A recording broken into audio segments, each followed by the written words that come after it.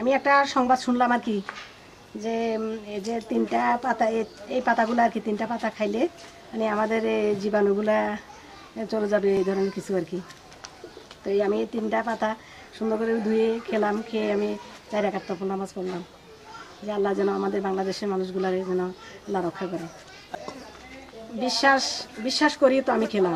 আমি আমার আম্মুর কাছ থেকে শুনছি যে এই থানকুনি পাতা খাওয়ার ফলে করোনা ভাইরাস আর আসবে না তো সবাই বলছে এই পাতাটা খেলে আমরা করোনা ভাইরাসের থেকে রক্ষা পাবো। এই জন্য আমরা পাতাটা খেয়েছি। আমি ওনার থেকে শুনছি যে পাশের বাড়ির একজন মহিলা ছিল আমি ওনার থেকে শুনছি যেটা খেলে নাকি মানে করোনা ভাইরাস থেকে রক্ষা পাওয়া যাবে। তারপর আমি ওনার সাথে যে মানে পাতা টোকে তারপর তিনটা পাতা খেয়েছি। আমি আমার দাদু থেকে শুনছি করোনা ভাইরাস ভালো হবে তিনটা পাতা খেলে করোনা ভাইরাস রক্ষা হবে এই তিনটা পাতা খেলে তাই আমরা তিনটা পাতা খেয়েছি।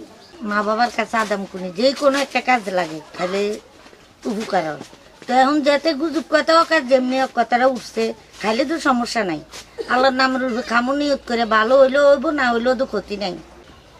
আসলে ফেসবুকে অনেকে ছড়াইছে ফেসবুকে দিয়ে অনেক ভালোটাও খারাপ হয়, এটা গুজব ছড়াইছে, এটা আমি বিশ্বাস করি না, কারণ এটা খাওয়া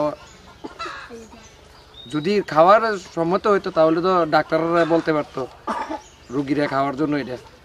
আসলে আমি এটা বিশ্বাস করি না। আমি একটা সংবাদ শুনলাম আর কি, যে এই যে তিনটা পাতা, এই পাতাগুলো আর কি, তিনটা পাতা খাইলে মানে আমাদের জীবাণুগুলা চলে যাবে, এই ধরনের কিছু আর কি। তো এই আমি এই তিনটা পাতা সুন্দর করে ধুয়ে খেলাম খেয়ে আমি চার তপন নামাজ পড়লাম। যে আল্লাহ যেন আমাদের বাংলাদেশের মানুষগুলারে যেন আল্লাহ রক্ষা করে। বিশ্বাস বিশ্বাস করি তো আমি খেলাম। আমি আমার আম্মুর কাছ থেকে শুনছি যে এই থানকুনি পাতা খাওয়ার ফলে করোনা ভাইরাস আর আসবে না তো সবাই বলছে এই পাতাটা খেলে আমরা করোনা ভাইরাসের থেকে রক্ষা পাবো। এই জন্য আমরা পাতাটা খেয়েছি।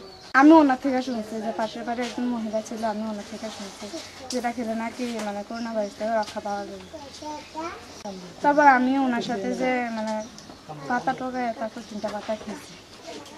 আমি আমার দাদু থেকে শুনছি করোনা ভাইরাস ভালো হবে তিনটা পাতা খেলে করোনা ভাইরাস রক্ষা হবে এই তিনটা পাতা খেলে তাই আমরা তিনটা পাতা খেয়েছি।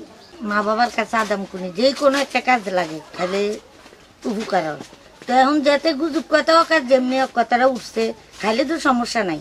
আল্লাহর উপরে খামো, নিয়ত করে ভালো হইলেও হইব, না হইলেও তো ক্ষতি নাই।